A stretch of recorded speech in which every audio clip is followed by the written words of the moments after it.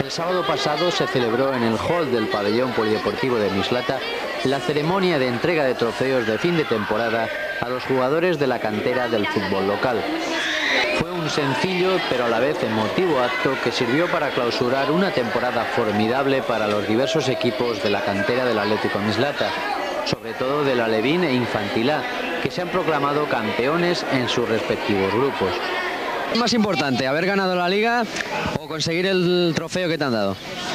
Hombre, ganar la liga, ¿no? Porque, no sé, porque así la gana todo el equipo, porque en un equipo hay 11, no solo hay uno.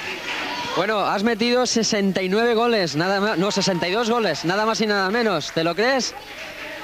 Hombre, es que es normal, ¿no? Porque con los compañeros que no hacían nada más que pasarme ahí y como nos, los equipos que teníamos eran fuertes, pero claro, los pases que me daban me los daban en boca gol ya.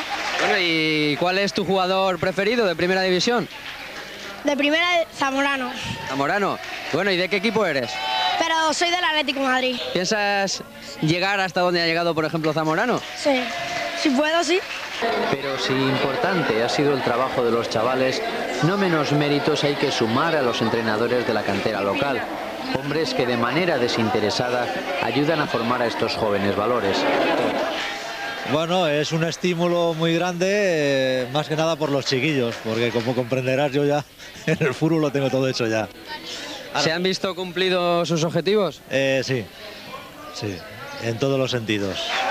¿Cuál ha sido la idea fundamental que ha querido inculcarle a sus chicos? Bueno, ante todo el que sean deportistas.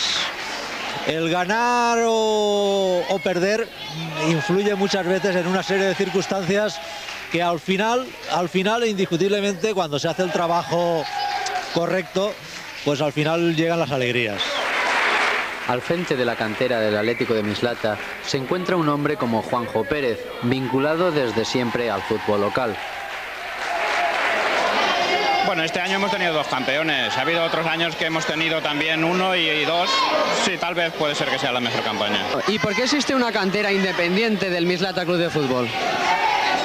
Nosotros siempre hemos pensado que era mejor llevarlo separadamente para dedicarnos por completo a, lo- a la cantera.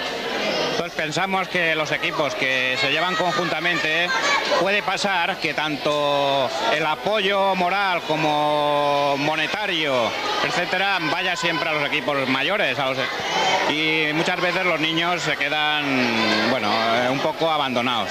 Entonces pensamos que llevándolo por separado y dedicándonos nosotros solamente a ellos, eso no puede pasar nunca.